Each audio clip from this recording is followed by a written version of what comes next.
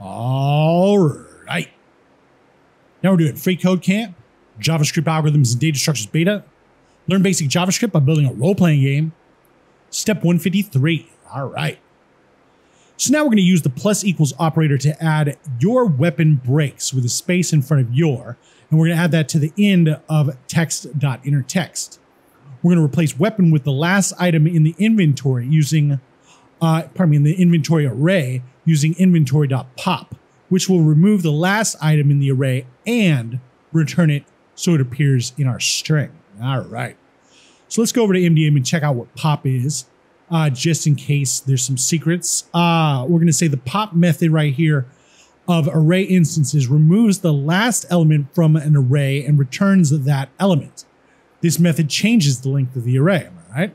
So just like the shift method would pop would uh, shift the first thing off the front.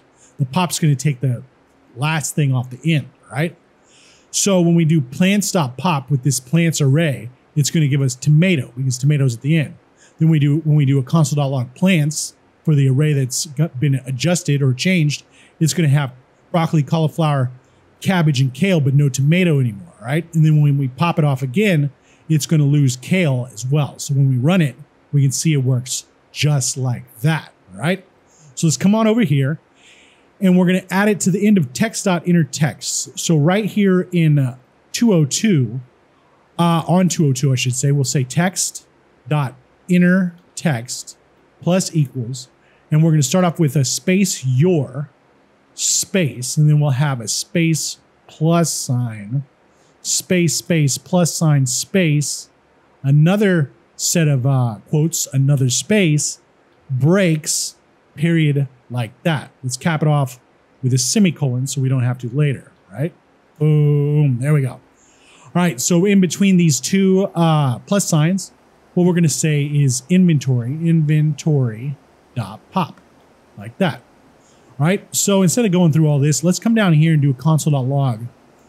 Console.log, log, uh, inventory, inventory dot pop like that.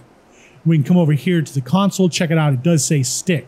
Thing is now the now the inventory is going to be empty because stick's gone and we can't have that. So we're probably going to have to do another if uh, inside of this if so that the stick doesn't break because I'm sure we're not going to make a, a bare hands uh, thing in the inventory array, right? So let's check the code.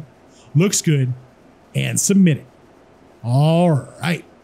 Now we're on to step 154 and we'll see you next time.